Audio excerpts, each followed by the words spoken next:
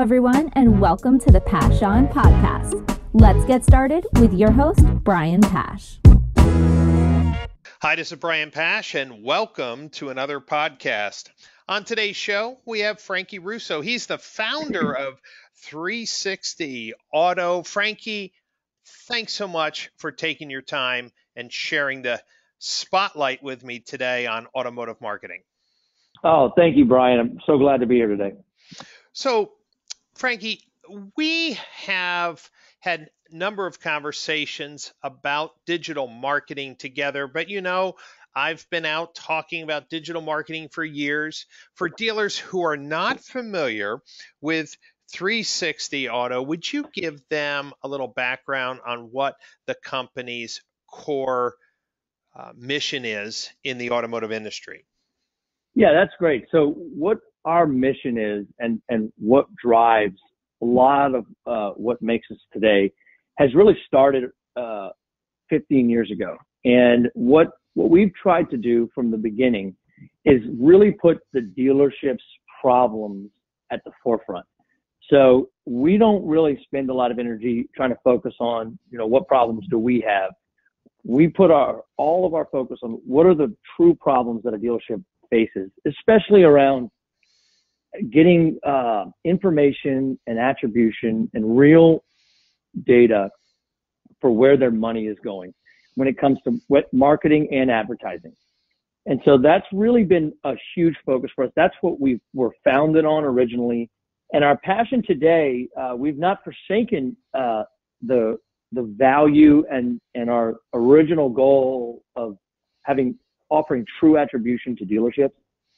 But what we have done is we've allowed ourselves to evolve and partner with dealerships in a way that really gives them the type of growth that they're looking for by utilizing big data and automation in unison with attribution and other tools that we built originally to help dealerships really kind of understand and break apart what's really going on with all of their marketing efforts.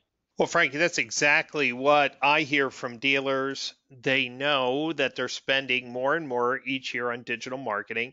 They're trying to connect those digital marketing investments to sales, but most of the industry today in 2019, it's sad to say 19 years after Google Ads was first introduced, 19 years of spending and increasing uh, spend on digital advertising year after year, dealers still have a challenge of connecting those views, those clicks, those visits to an actual sale. So let's break this out a little bit. One of the biggest conversations I think today is the idea of big data or anonymous shopping data. Uh, I'm going to handle this straight straight on. There's a number of companies that are offering dealers the ability to get some information on the consumers who visit their website that don't fill out lead forms. So, Frankie, from your perspective, uh, can you explain to dealers in a simple way how this is being done? Because when a dealer says, Hey, I'm getting 30,000 visitors a month to my website, but I'm only getting 300 leads, it drives them crazy what have you found, That's Frankie, right. on all the claims out there? Is it fact? Is it fiction? If it's is it hype? Is it reality? And and what type of expectations can dealers have in working with companies like yours? Uh, Brian, that is a great question. The first thing when you're talking, all I could think of was snake oil. So I, I'm going to leave all the snake oil out of the conversation. How about that? Yeah, that's perfect. And and there's a ton of it. Okay, so first of all, there's no magical new way that people can mysteriously or companies can mysteriously identify all the anonymous shoppers. Um, obviously, that's the holy grail. Everybody wants to know who are these shoppers or browsers on this on these websites, so that we can then kind of see how that information ties back to multiple touch points in, in let's say a path to purchase model, or ultimately did this person buy a vehicle or buy a product from them or do parts of uh, service with them. So that's really kind of what everybody's pushing to do. And, and I can tell you the cool thing is, uh, Brian, there are new ways now where we can identify more of these quote unquote anonymous shoppers. However, we're nowhere near, and, and with the privacy laws that are uh, starting to come out, may never be there where we can fully understand every single browser who they are. So it's not even, uh, it's the same kind of concept of, of like, I know that half my advertising is working. I just don't know which half. Anyone who comes out and says they can tell you the other half is obviously not going to be someone you want to do business with because it's not possible. But if they can incrementally show you another three or five or 10% of the half, and maybe you can get to, I know, 60% of what's working, that's something that we are pushing towards. So when you think about this idea of anonymous shoppers, there's, there's a, a couple different ways to identify an anonymous shopper. The number one way is with their IP address. So if there's an IP address that's available um, there is sometimes uh, certain actions that are taken once they've come to the site that you can memorize or uh, log, if you will. So you can save that information um, for a later time at which we can identify who that person is. But ultimately, there's there's only a couple of ways that I've seen it work well. Is it, with IP addresses, it's a little bit hairy because there's a lot of different ways that Wi-Fi routers and mobile users uh, have multiple people on the same IP address. So there's no perfect system for it, unless, however, the person identifies themselves in some way. So one model that we've utilized is, is where if someone is actually filling out, like let's say like a form or typing in some sort of information, we're able to identify from those actions and keystrokes exactly what uh, that IP address was doing, and that helps us then log for later use what they do afterwards. So when, especially if, let's say they return for any reason after we've found some identifier like an email address or a phone number, but even then you still have to have some sort of uh, identification that they've done to be able to see uh, the browser data. Now the other way that, that works well is if you've got information on a person already, for example, like with an email system or a CRM system, and that person then visits the site from the uh, email blast or something like that. That's all, another way that we've been able to identify them because we already knew who their email address was, and then we were able to see their IP once they got to the site.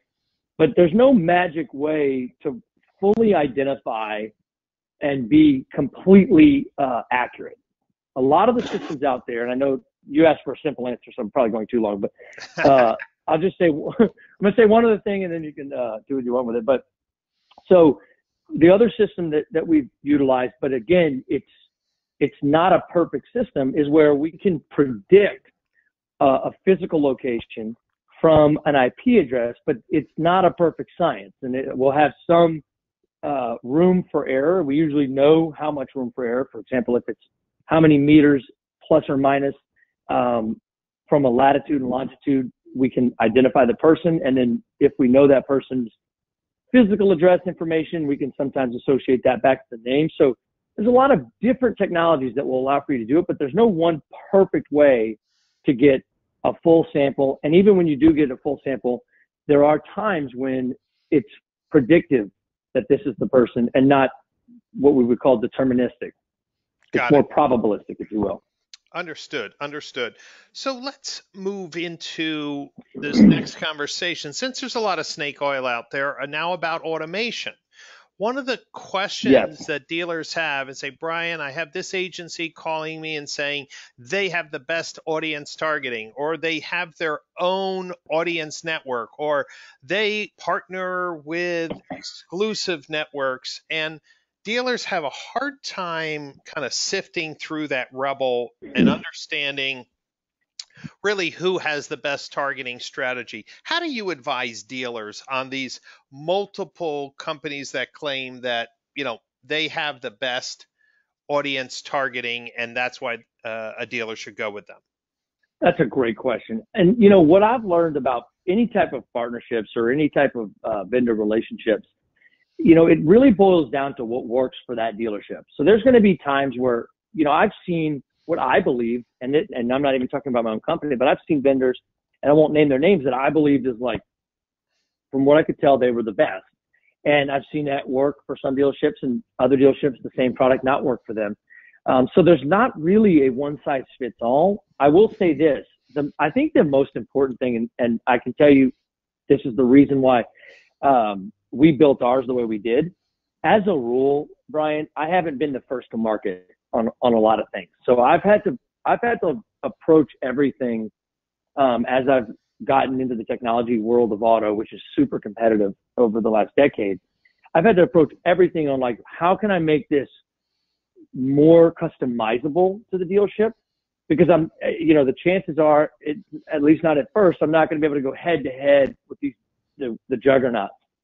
So what I think is important about specifically audience targeting is first of all, you know, what exactly does the dealer get um, when they quote unquote partner up with an audience. So I think it's important to know what a dealership gets. One of the things that, that I've seen work better than anything else, and, and I don't even know that it has as much to do with the audience targeting, the algorithm for the audience targeting as much as it does the fact that coordinate, when you can coordinate the BDC efforts with what you're also doing with digital advertising, that is the strongest ROI I've ever seen. And the only way you can do that is if the audience, quote unquote, audience targeting is uh, set up in a way that can be shared. And obviously, you've got to go through all the canned spam and all those pieces.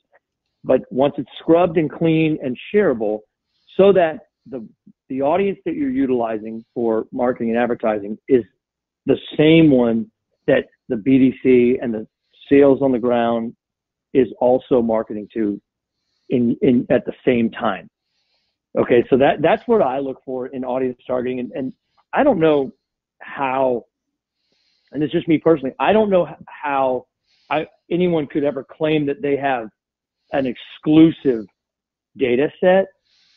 Um, it's in every, unless they're just talking about a sing, maybe like a single geographical area. But if, if you're a company that's offering this to all North America, I don't know how you would be able to make a claim like ours is completely proprietary. And and to be honest, I'm not sure how much that matters. So we looked at that, right?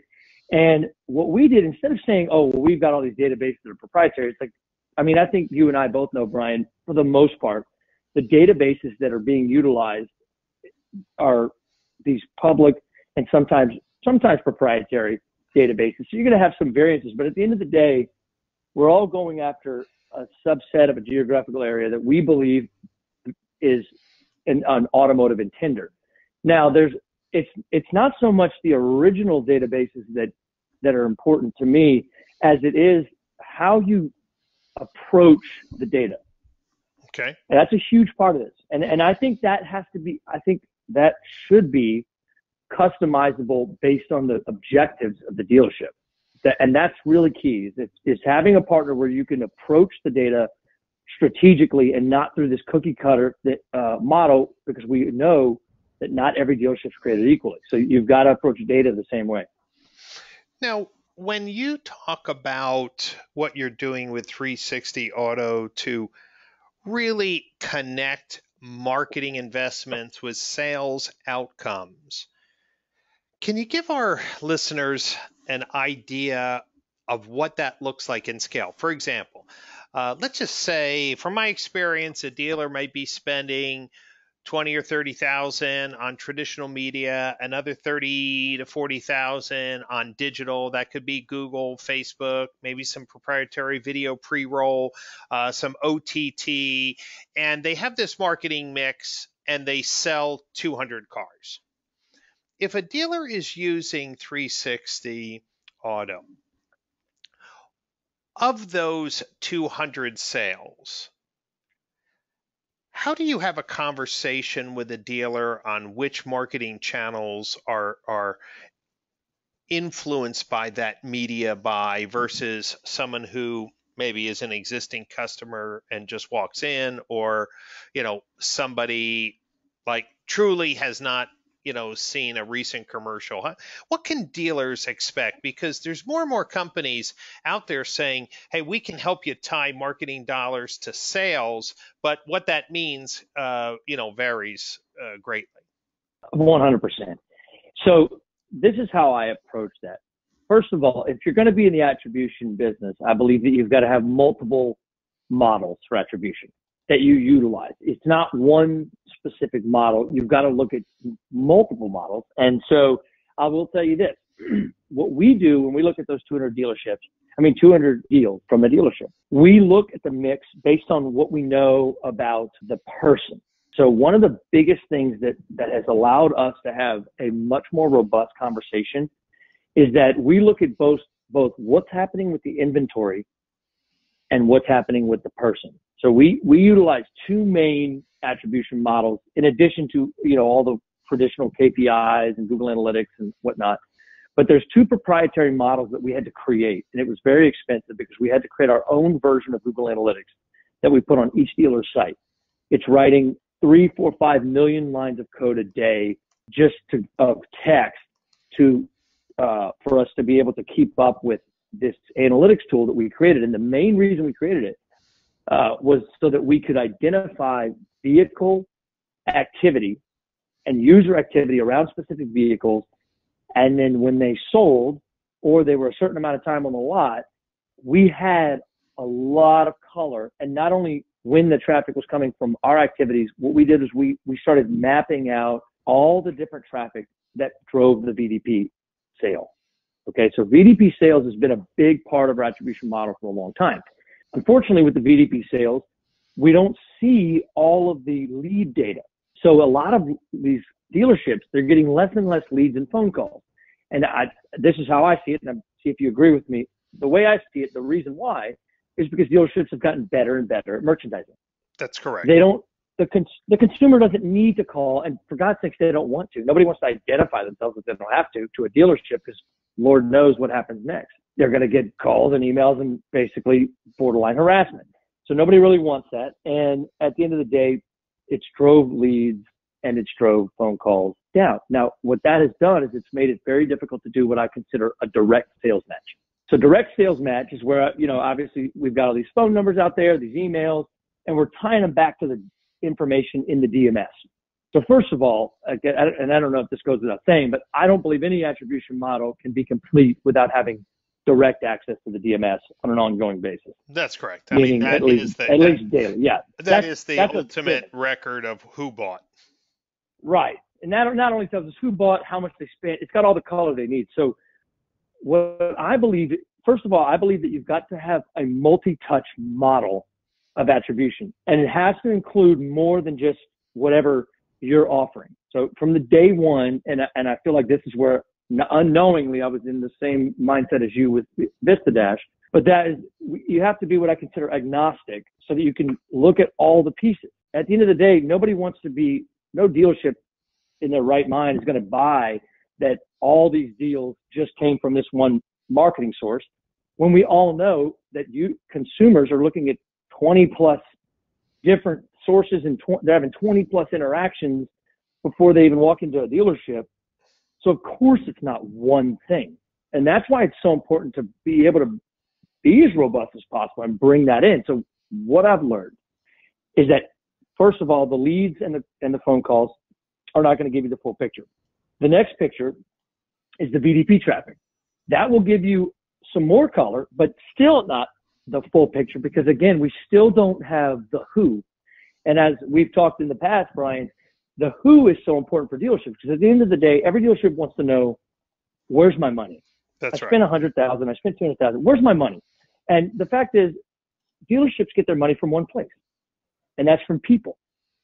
So with that being said, if I want to show a dealership, hey, where's my money? I've got to show them who are the people. Now that's easier said than done. We already talked about how difficult it is to identify who all these people on the website are. You know, but that's why and this is important. That's why it's so so imperative that custom audiences are utilized in all of the marketing efforts. It's so important. We we are so blessed to have a moment in time where we can identify people for in advance and and and decide that these are people that will buy vehicles in the next 90 to 120 days and then do something with that information beyond just direct mail and email.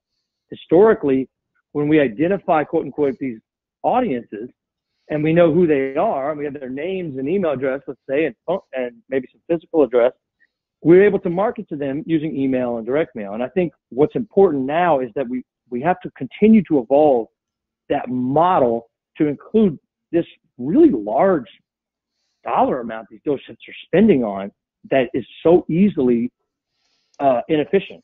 Things like search and social, display, video, like you talked about.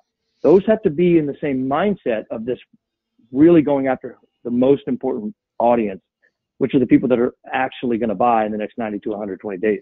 So, Frankie, when we think of the opportunities out there, when a, a dealer group works with 360 Auto, and you've had a chance to look at their marketing investments and start to make tweaks and uh, recommendations for improvement.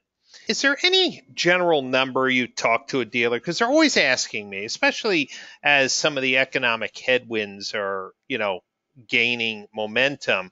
Hey, if if I use marketing intelligence, if I use marketing automation with 360 Auto, if I really focus on a more data driven approach with de- direct connections for my DMS, what type of efficiencies would I expect to see? How, how do you talk to dealers to help quantify when you're encouraging them to rethink how they market? What, what's the potential for them as far as savings or you know improvement? You you come in, what what kind of lift could they expect?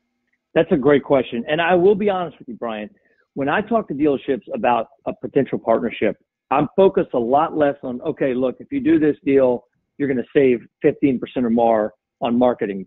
You know, it's, there's, it's not really a Geico approach per se on savings. However, what we do focus a lot of energy on is market share. And what I mean by that is conquest. And so, you know, we look at conquest as our main objective. Okay. And there's two types of contest, conquest that we focus on. What we would consider pure conquest which is someone who hasn't bought or serviced or bought any parts or done anything and they're completely out of the DMS. Or service conquest, meaning they've done parts, service accessories, but never bought a car. That is the true focus of, of what we believe is the most important. And, and we do, of course, like many other companies and anybody running television or anybody running any advertisement that's, that's got loose targeting, we're going to market to a dealership's customer. A lot of dealerships are like, well, why would I want to market to them? And they're going to buy anyway. And most of the time, what I'll tell them is, you're right, they will. But as you know, timing with what you deal with with your inventory and with your floor plan and with your commissions that you're trying to pay your people, timing is very important. So they may buy, but the question I always ask is when.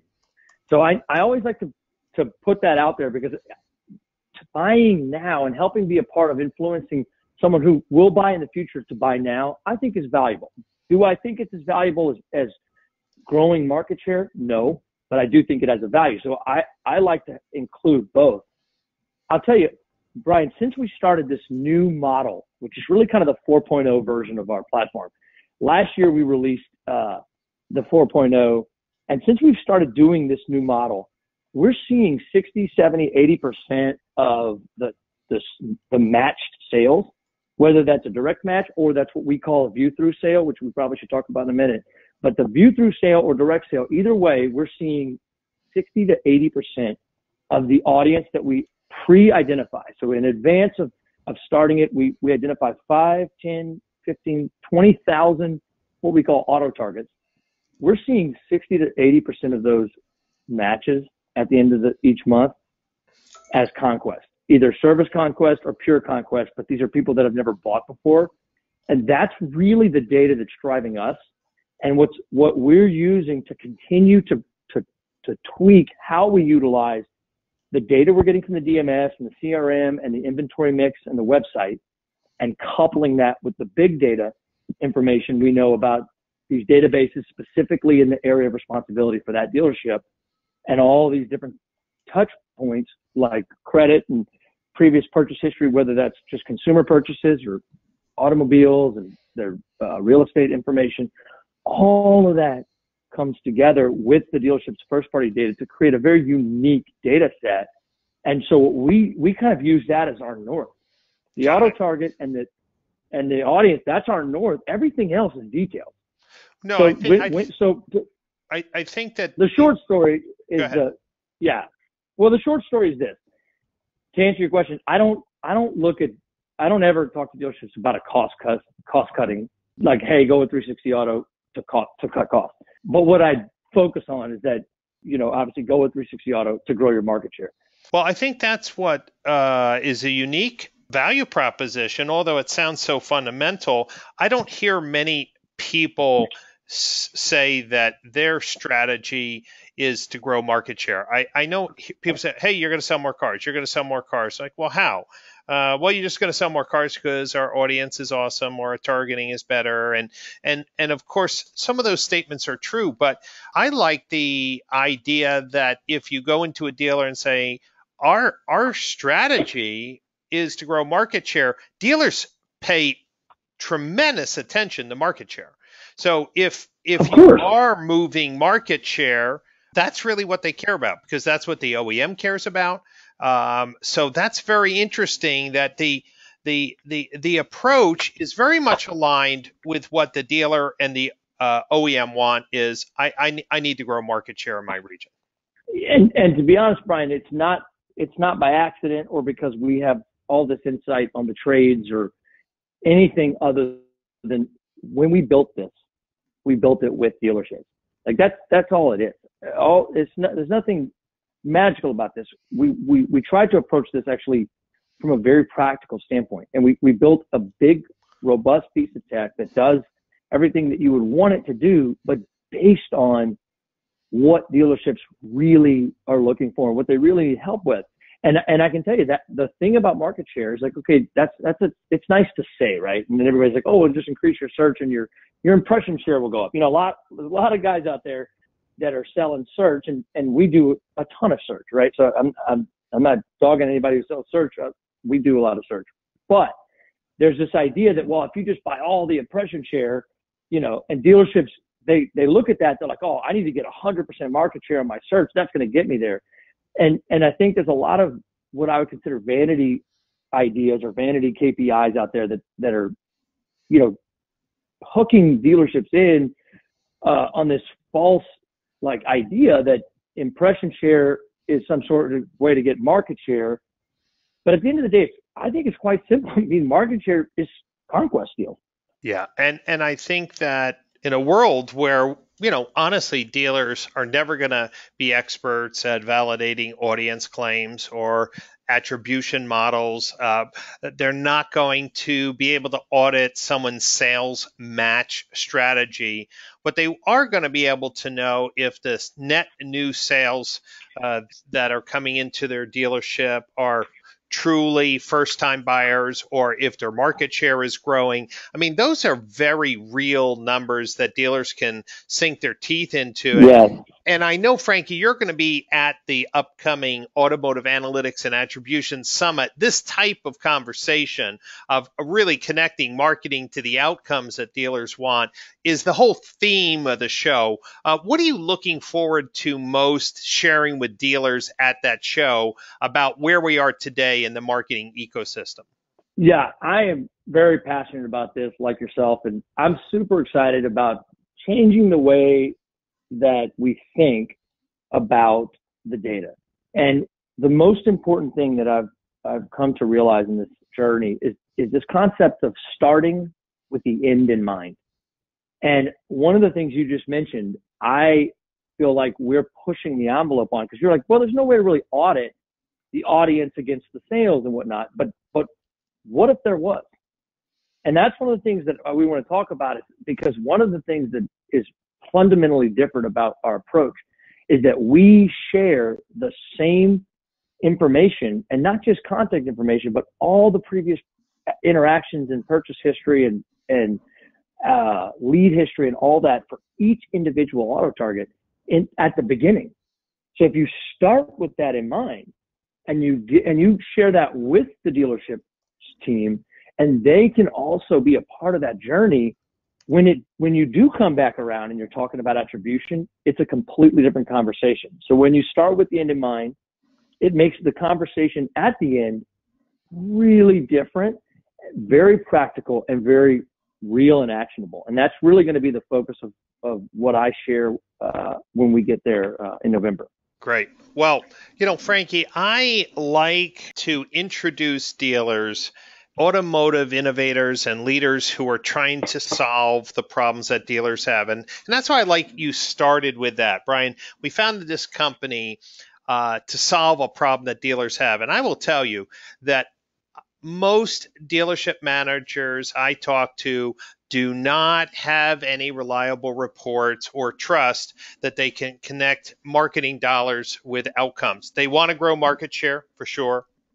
They want to sell more cars for sure, but they don't really feel they have any control of the levers. You know, one month the sales might be great, the next month the sales are, you know, down significantly. They haven't changed anything in the marketing. They're scratching their heads. So I love the fact mm-hmm. that there are companies working to develop uh, data models, marketing automation, uh, more intelligent reporting that aligns with what they can understand because too many products i think are talking over dealers heads absolutely that is and we found ourselves right there two years ago that's why we had to simplify it to like okay if we can't talk about the people that are involved in the audiences and the people that are buying the stuff then we shouldn't even be talking and so we spent a lot of time kind of simplifying. It's interesting. Our, our system is more complex than ever, but when I look at great softwares, they don't require a lot to explain them. And that's really been my passion over the last two years. I had to go back to the drawing board because it, it was,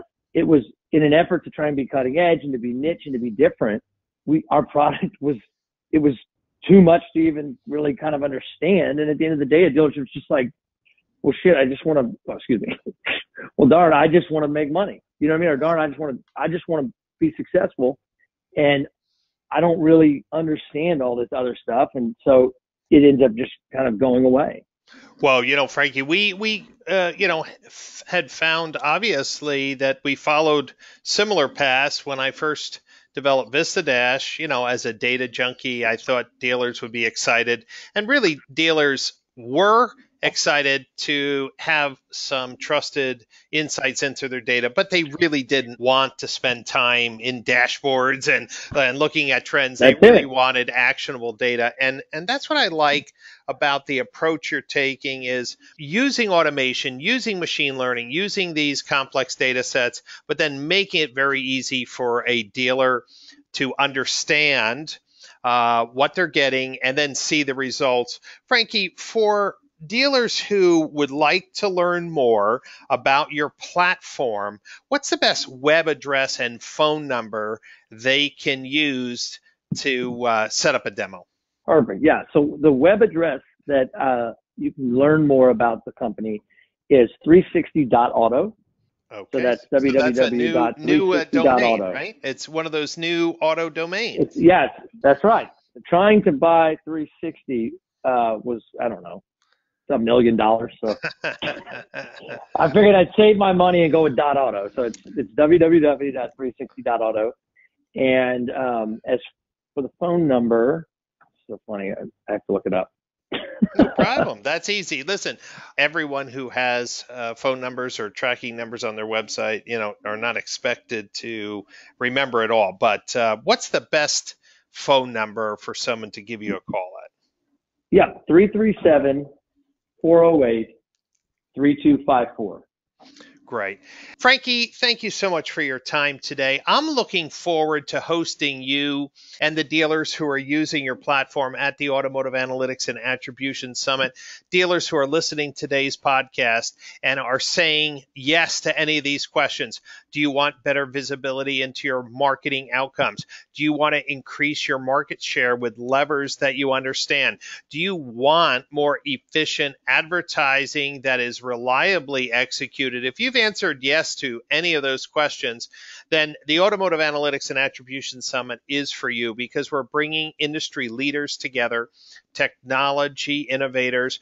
We're having the largest gathering of data driven vendors and speakers to talk about the things that Frankie identified and I've written about, which is how do we make our marketing more efficient? How do we align our marketing dollars to sell more cars more efficiently? How do we know what's working? So, Frankie, I'm excited to have you part of the program, your workshop, and I look forward to staying in touch with you and your team as the company grows to solve more problems for dealers in a digital age. For everyone who's listening to this podcast for the first time, you should know that every Monday we release a new podcast. So just go to brianpasch.libsyn, or you could just search Pasch On Podcasts on the Apple iTunes uh, app to listen to the podcasts online. Thank you so much for investing your time, and we look forward to spending more time with you next week on another podcast session.